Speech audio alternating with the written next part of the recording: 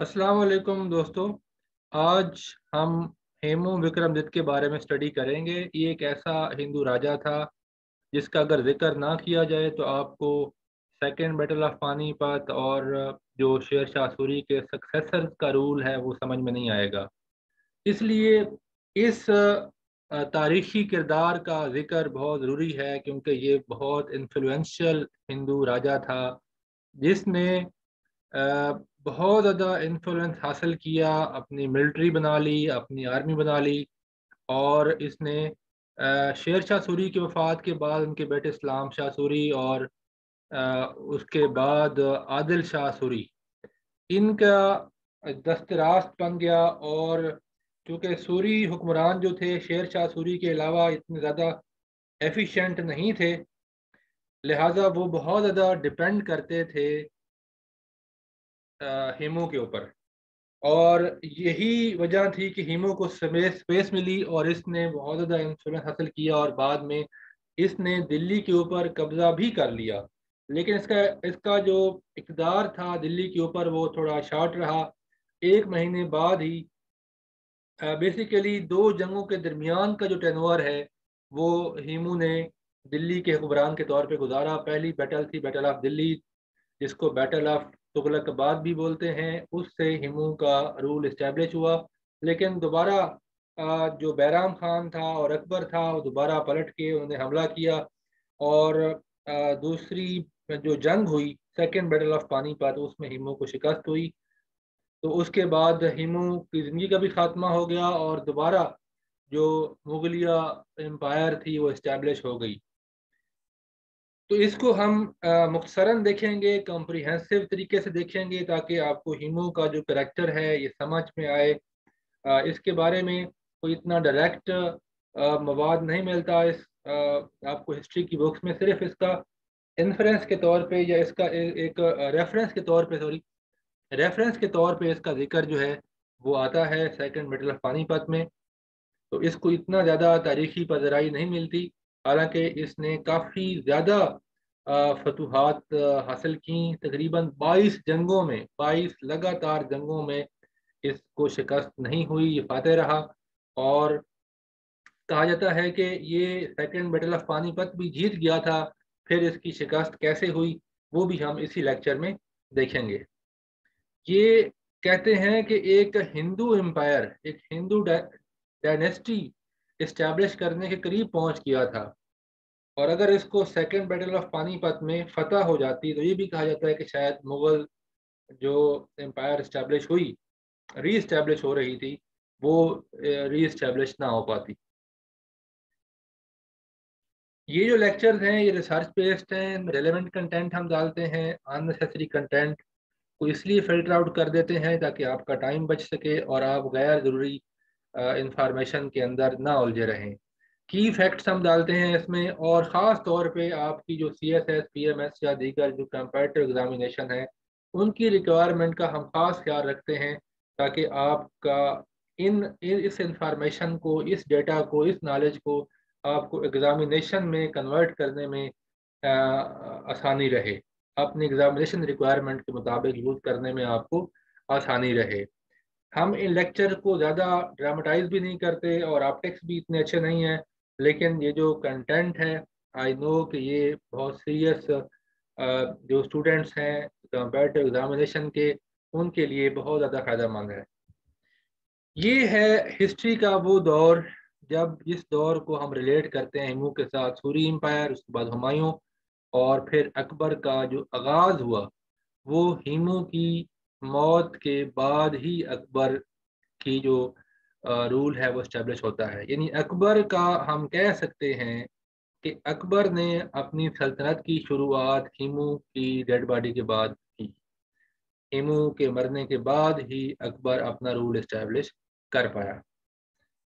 तो इतना ज़्यादा ये इन्फ्लुएंशियल था, इतना ज़्यादा ये एफिशिएंट जनरल था कि इसका बहुत ज़्यादा खौफ था और इसको समझे बगैर, इसको जाने बगैर हम इस दौर को उस तरीके से नहीं समझ सकते, जो कि एक सही तरीकी तनाजर है।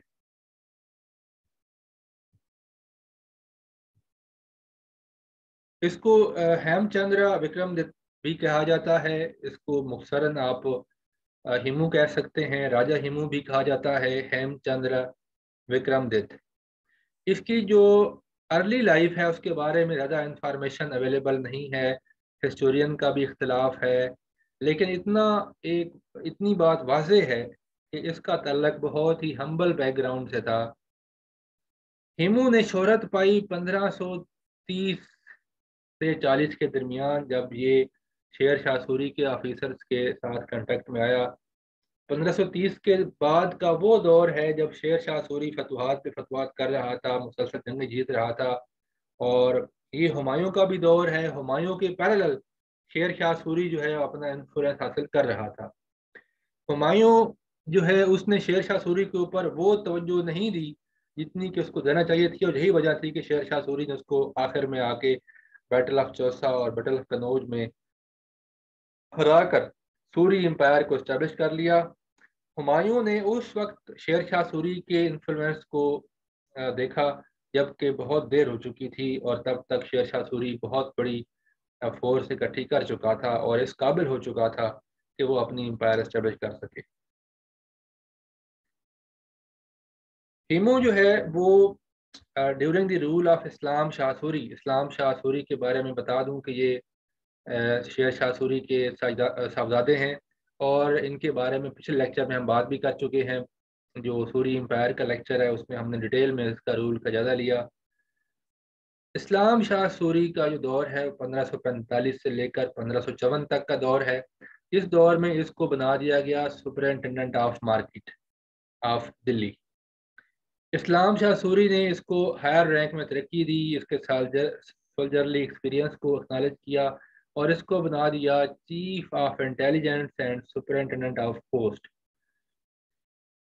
चूँकि इसके बाद फिर जो सूरी हुक्मरान आए, फिर आखिर जो मोहम्मद आदिल शाह का दौर था, उस दौर में हुआ ये कि चूँकि मोहम्मद आदिल शाह खुद इतना इफ़ेक्टिव एफिशिएंट शुगर नहीं था तो हेमो जो है वो मेहनती भी था और इसकी सलाहियतें भी थी, लिहाजा इसको बहुत ज़्यादा स्पेस मिली काम करने की, इसने अपना इन्फ्लुएंस फैलाया मोहम्मद आदिल शाह के बारे में कहा जाता है कि यह सिर्फ़ नाम हुक्मरान था और असल जो पावर थी वो हिमो ही रन कर रहा था।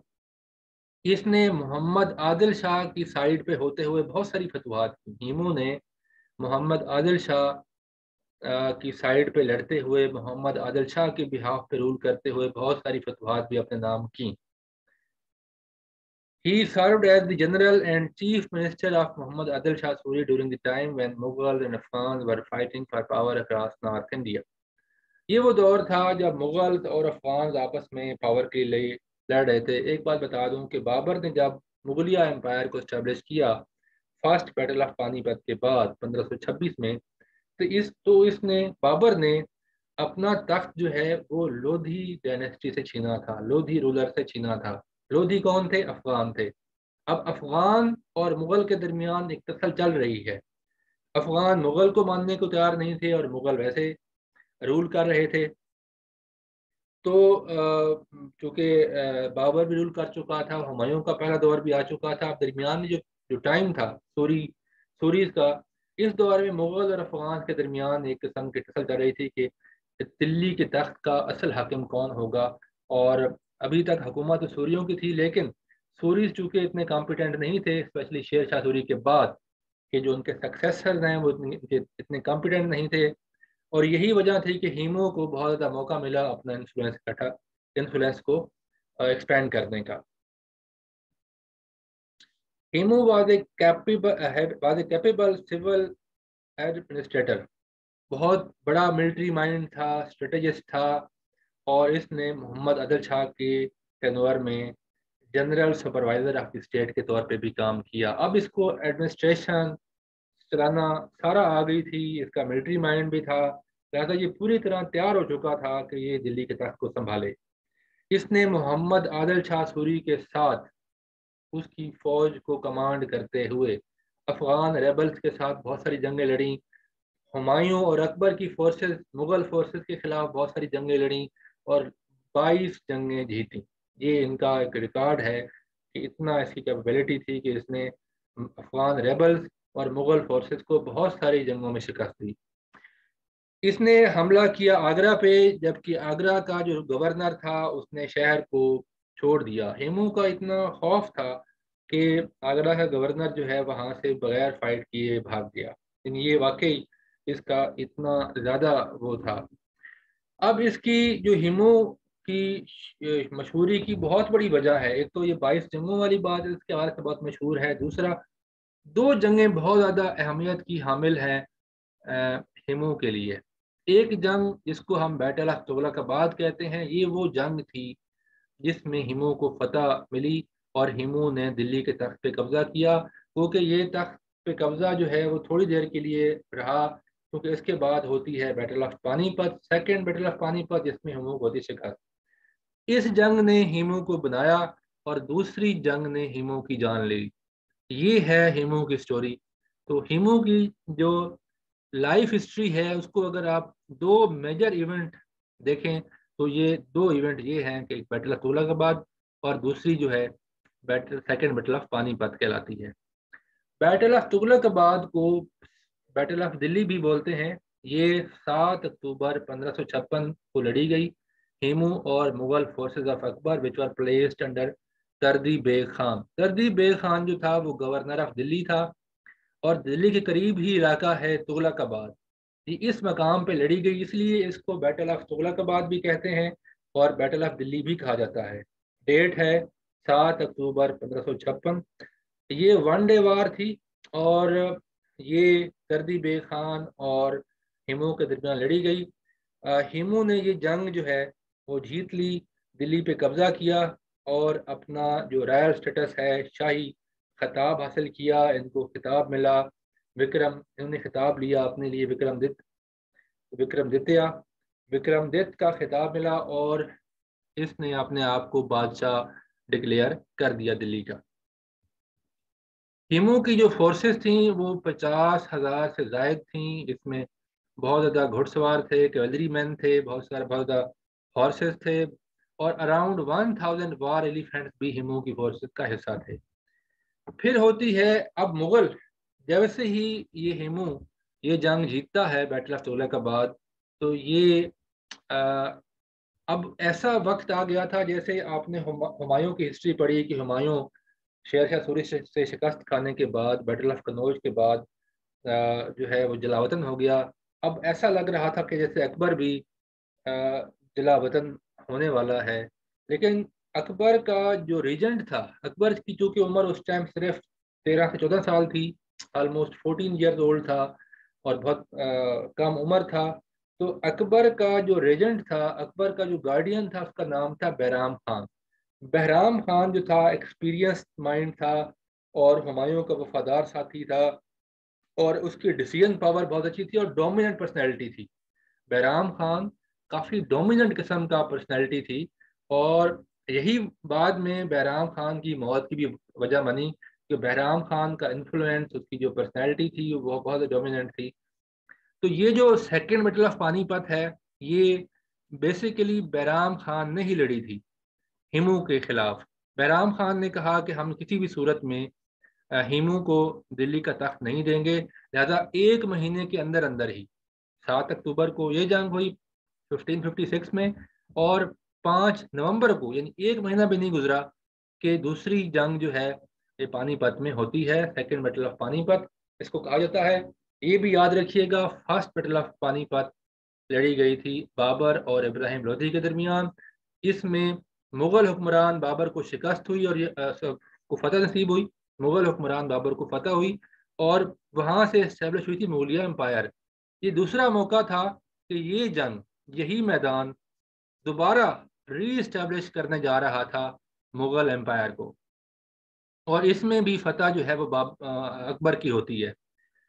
Hemu versus Mughal forces led by Bairam Khan. ये जंग होती है पानीपत में अक्सर जंग इसलिए भी हुई कि ये दिल्ली के करीब था, तारीखी मैदान है, जहाँ पे जंगें लड़ी जाए तीन जंगें बहुत मशहूर हैं, first battle of Panipat, second battle of Panipat और थर्ड बैटल ऑफ़ पानीपत। और भी बहुत सारी जंगें लड़ी गई। तो ये चूँकि दिल्ली के रास्ते में आता था, दिल्ली के करीब था, लिहाजा यहाँ पे ये एक तारीखी बैटल ग्राउंड था। It was desperately contested battle ये ऑलमोस्ट हिमू की चूँकि फोर्स भी ज़्यादा थी, मुग़ल फौज से बहुत बड़ी फौज थी हेमू की, और हिमू जो है वो फतह के करीब था, लेकिन फिर एक वाक़ होता है। वाक़ यह होता है कि एक तीर जो है वो हिमू की आँख में जा लगता है, हेमू बेहोश हो जाता है, और जैसे ही हिमू गिरता है तो आपको पता ही है, जब जंग में लीडर या कमांडर जख्मी हो जाए या गिर पड़े तो पूरी फौज में बदली फैल जाती है, और यही कुछ हुआ यहाँ पे सेकेंड बैटल ऑफ़ पानीपत में। हिमू की जो फौज थी उसमें पैनिक फैल गया हिमू को शिकस्त हो गई और मुगल ये जंग जीत गए और इस जंग का जीतना था कि अकबर का जो रूल है वो इस्टेब्लिश हो गया और हिमू का रू, रूल ख़त्म हो गया। इस जंग के बारे में ये भी कहा जाता है कि हिमू को जख्मी हालत में लाया गया बहराम खान ने अकबर के सामने पेश किया अकबर को कहा कि आप इसको कत्ल कर दें।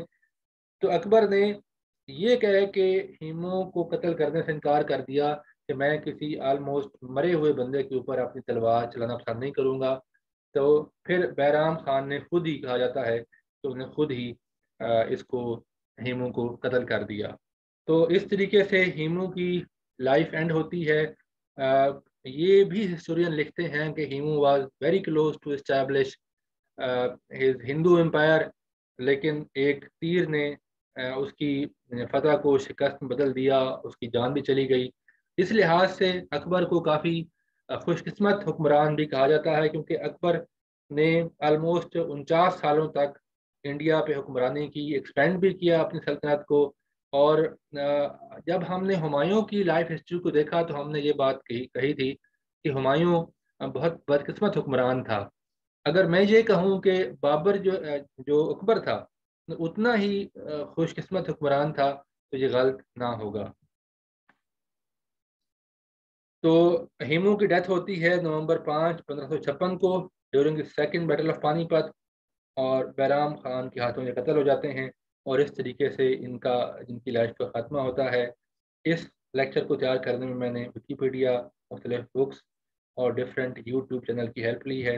होपफुली आपको लेक्चर समझ में आया होगा। अगले लेक्चर में हम अकबर की लाइफ के बारे में बात करेंगे, उनकी फतूहत, उनके दौर के बारे में, क्योंकि वो इंडिया के तारीख के 50 साल हम कवर करेंगे। बहुत ही अहम लेक्चर है। ज़रूर सुनिएगा। टेक केयर अल्लाह हाफिज़।